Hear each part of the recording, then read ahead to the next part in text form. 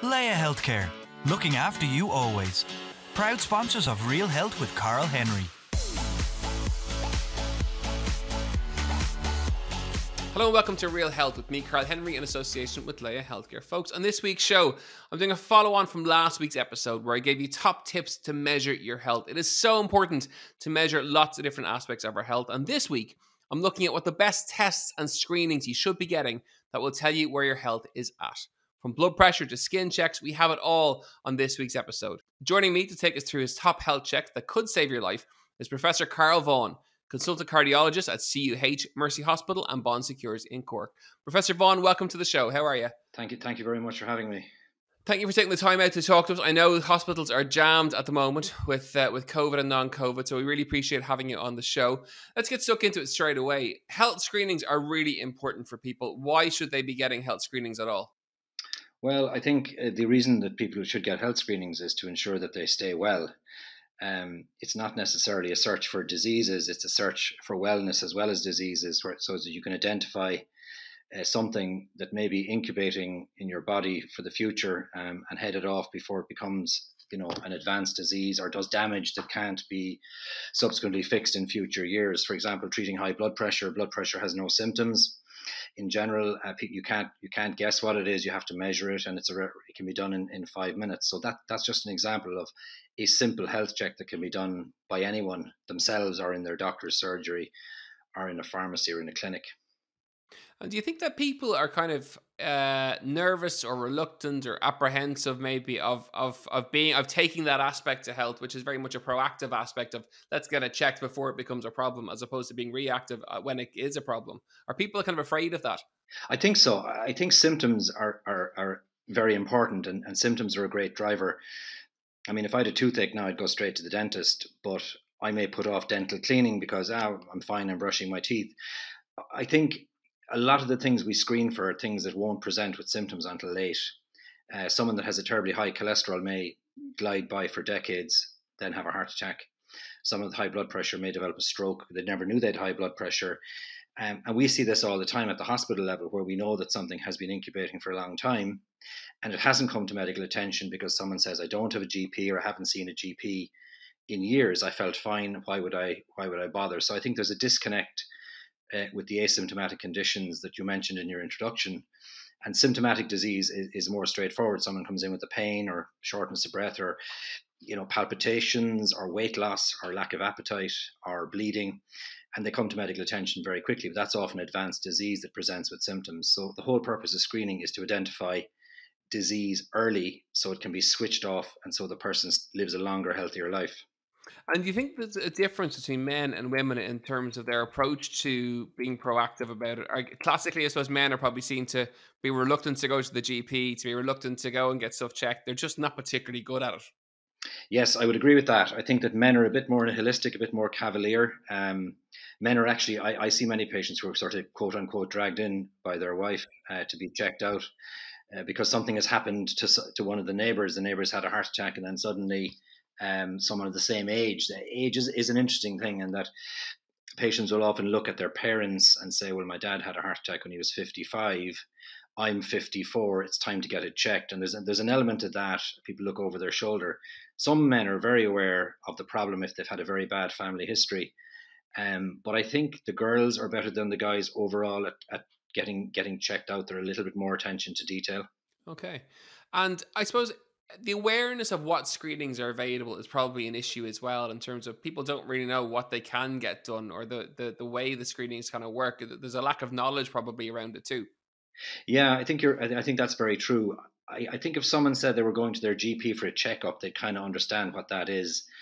But perhaps the word screening opens a pandora's box in their mind about they're going to have the bacon slicer or they're going to get a biopsy or they're going to have something really invasive done Screening really is low tech, low cost, widely available, and very effective at detecting these disorders that don't have symptoms like high cholesterol, high blood pressure, diabetes, um, and other and, and, and we should should not forget cancer you know, cancer is the second biggest killer in Ireland. Cancer tends to run in families.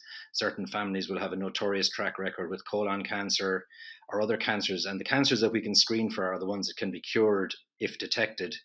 Many cancers have, have a poor prognosis, um, and therefore screening programs haven't been put in place to detect those cancers. But the classic big three in Ireland would be colon cancer with, with colon screening, with fecal occult blood testing, um, and polyp detection. Cervical cancer, we all know about that. That's been very prominent in the media.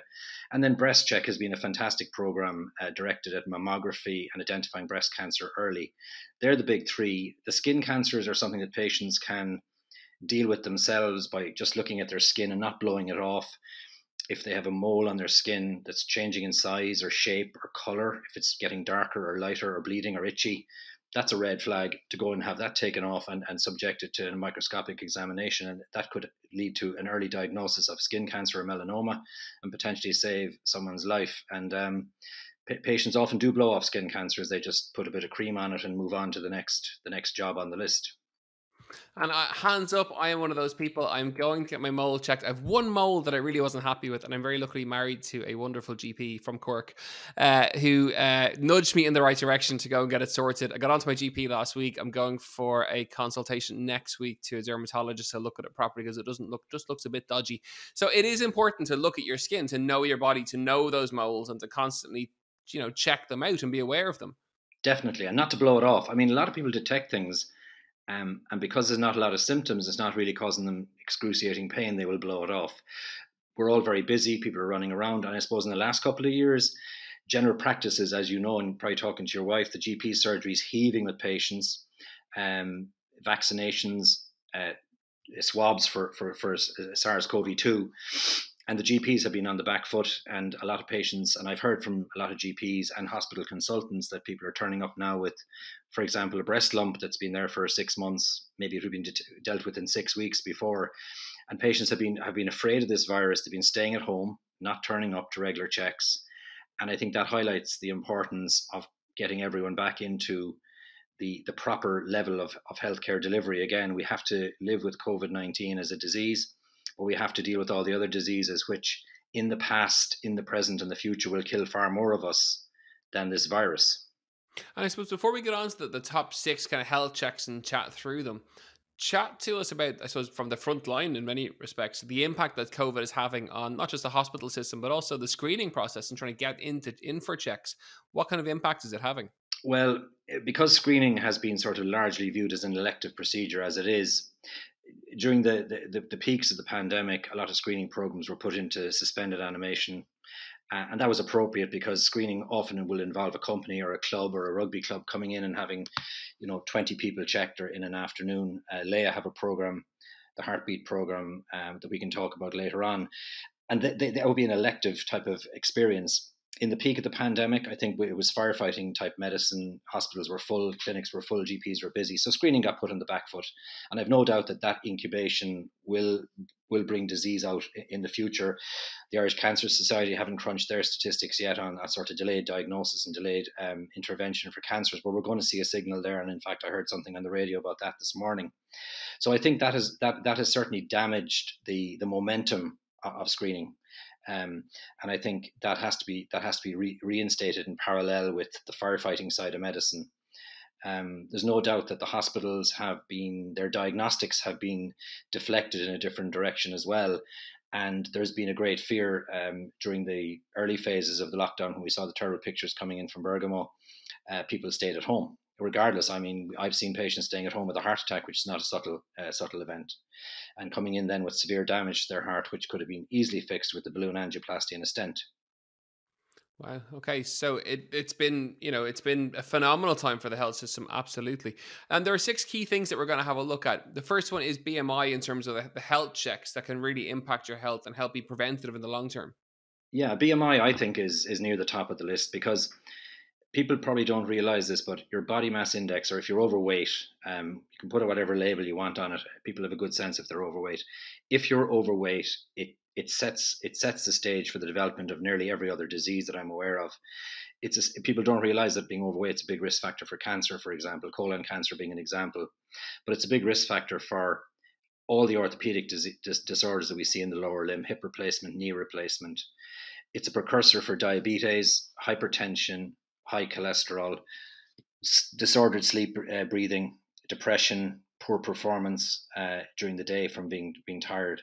So so overweight, elevated BMI, obesity is right in the center of the Venn diagram. And as a society, we've got much heavier in the last 20 or 30 years. If you look at old photographs, Irish people were much thinner. Our diet is definitely wrong. Uh, exercise has been reduced, and there, and it's not entirely fair to, to throw that at every patient because there's complex hormonal pathways that regulate body weight that we shouldn't um, we shouldn't minimize their significance. But you know, high carbohydrate diet, sedentary occupation, working from home, all of that is a is an absolute fueling of, of the problem. And this is our figures here are mirroring figures in North America, where the CDC have published, you know, state by state weight statistics for the American population, which have been grappling with a huge obesity epidemic for the last uh, two decades. Can I get your take on, on, on the societal component of, of BMI and of weight and, and being overweight? Like we're kind of moving into an area now of how we talk about weight. There's a very PC world around even mentioning weight in some regards and, and mentioning overweight. You know, you know, what's your take on that?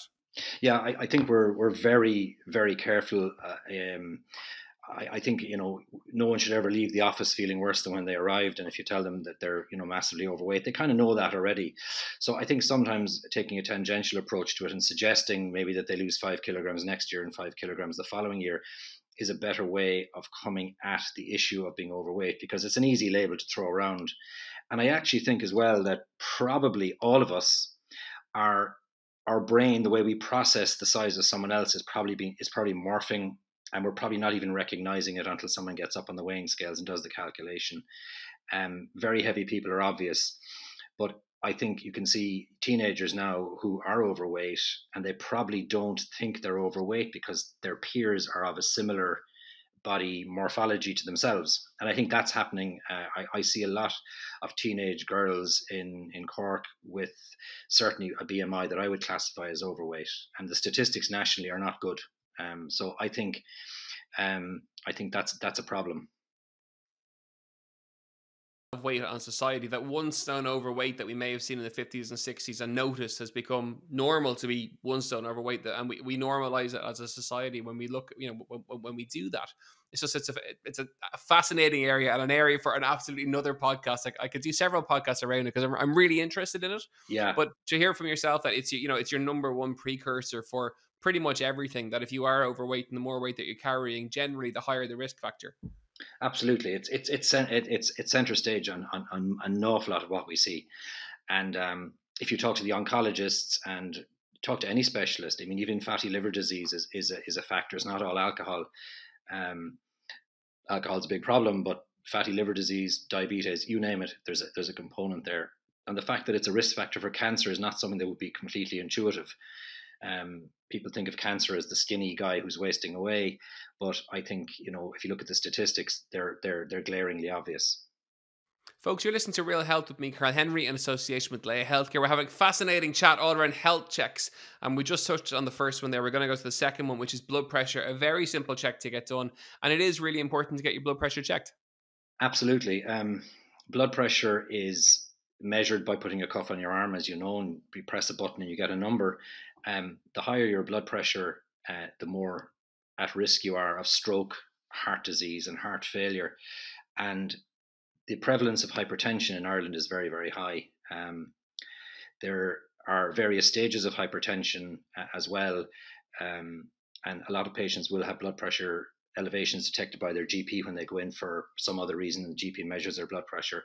But screening for blood pressure is very easily done. Patients can buy a cuff and do it themselves and take some readings and, and see where, where their numbers are. Uh, we're encouraging people to, p- patients to measure their own blood pressure who have an established diagnosis because blood pressure checks at home with the patient over time will provide a very accurate picture of the profile of, of their hypertension disorder over the years. Um, there are monitors then to weed out patients who may have just a spike in blood pressure when they come into the doctor's office. Some of those patients don't actually have hypertension, but they get a situational spike.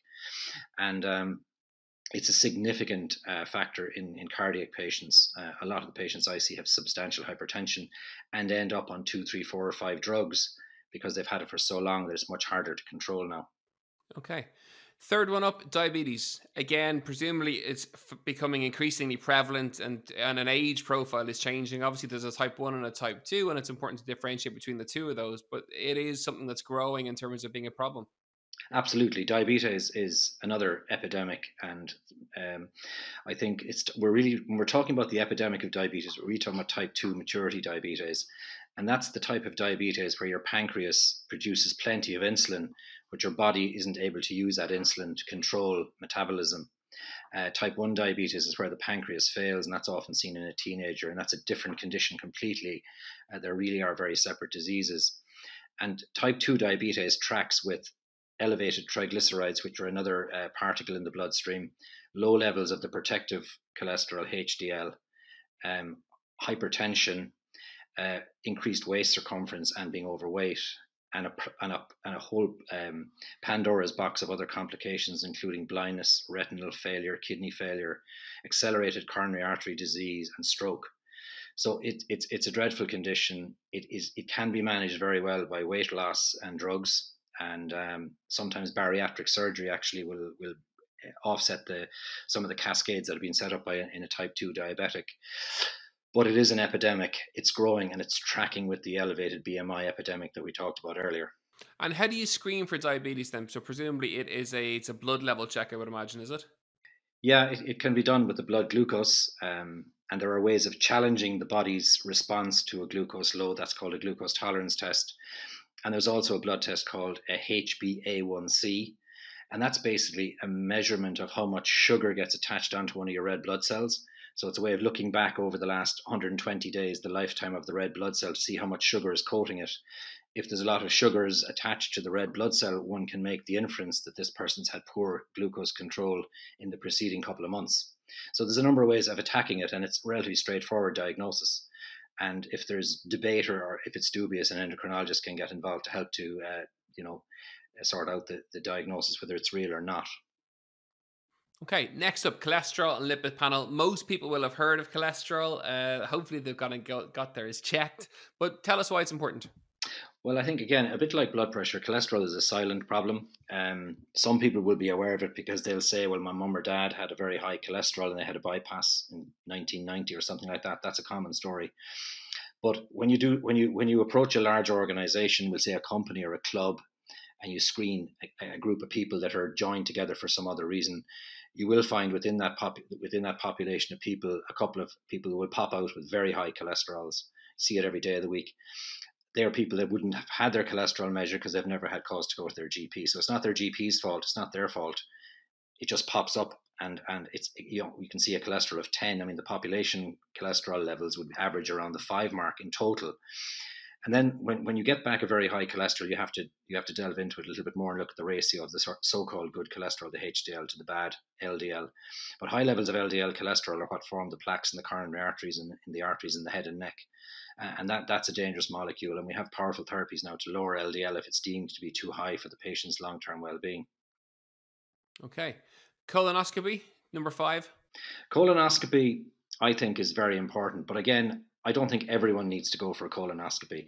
This is where the family history comes in, and knowing your family history is really important. Um, if there's a family history of colon cancer in a first degree relative at a relatively young age, and I'm not talking about someone who's 80 or 90, but we'll say someone has colon cancer at the age of 55, their first degree relatives should get checked because colon cancer begins as a polyp, which is a little little uh, mushroom like growth in the colon and that polyp can be identified and it can be pulled out before it becomes malignant and invades. So colonoscopy is a very useful test if there's a family history. Um, in some countries, people will be offered a sigmoidoscopy, which is kind of, half a colonoscopy uh, uh, over a certain age to screen for colorectal cancer. But it's a very it's it's a good screening uh, test done in the appropriate population because you can prevent the disease happening that's beginning to happen. Um, it's completely different to, to something like pancreas cancer, where it's going to be very difficult to manage it and, and get it under control at any stage that you detect it. But colon cancer is, is, is, is good value for money, I think. And I think if there's a bad family history, you get your colonoscopy done at a certain age, discuss it with your family doctor, and get a referral on. Um, many people leave that go too late. And if there's any change in bowel habit or symptoms of bleeding or constipation or diarrhea or a change in, in bowel habit, people should seek medical attention straight away and get a, get a colonoscopy. Fantastic advice. Okay, number six is what my own uh, my own latest one, skin check. So skin check is important because again, it's it's basically free. If you see something on your skin that you're worried about, as you mentioned in, in your introduction, Karl, you get it sorted. But I have seen patients leave this go. Um, a farmer has something itchy on his ear. He puts a bit of steroid cream on it, gets back to the farm, and finds out that he has a basal cell carcinoma of his ear. Um, and then he has to have his ear taken off, um, the whole ear, not just a little bit of the ear. People get freckles, they ignore them. They think it's just a, a mole, and moles are dangerous. The, the, interpretation of these is very specialized um, skill uh, uh, people have mole cl- they've got pigmented mole clinics now in most of the large city hospitals where you can go in and have your pigmented mole checked out by expert dermatologists who are very experienced at eyeballing these and if necessary taking them off and, and subjecting them to pathological examination. That's really important that you don't blow that off. Melanoma particularly is a disaster if it gets if it if it becomes widespread. Okay. And were you surprised by the results from the research findings that when they came in? Well, I'm not hugely surprised in that I think we all see the other end of the of the iceberg here. Uh, we see the tip of the iceberg in the hospital where people come in with disease, but for that disease to present, you, you, you there are probably many more people who haven't shown up because the hospital isn't going to have all the patients coming in with a particular problem. So you have to assume there's a lot more disease incubating out there. And I think the survey has shown that people are reluctant to come forward. I, I think for all the reasons we mentioned earlier. Um, Screening can be done by yourself to some extent, certain conditions such as skin and blood pressure. Screening can be done by your family doctor, it can be done by a clinic. And then these sophisticated screening programs that incorporate a family history, a symptom check, a mental health check, an ECG, and bloods to address diabetes, high cholesterol, and things like that. They're very comprehensive because they tick a lot of boxes in one sitting and they can be applied to large groups of people relatively quickly and relatively cheaply. Professor Carl Vaughan, thank you so much for the fascinating content on today's episode. Folks, everything we've discussed today is based on recent research by Laya Healthcare. You can find out more details at www.layahealthcare.ie forward slash health screening. And there's a live event with Professor Carl Vaughan at 2 p.m. on Thursday the 2nd. And you can register on the very same link, which is www.layahealthcare.ie forward slash health screening. That's it for another episode of Real Health with me, Karl Henry, in association with Laya Healthcare. As ever, you know where we are at Karl Henry PT on Twitter and on Instagram, and realhealth at independent.ie. As ever, we'll see you next week for more Real Health. Slán go fóill. Laya Healthcare, looking after you always. Proud sponsors of Real Health with Karl Henry.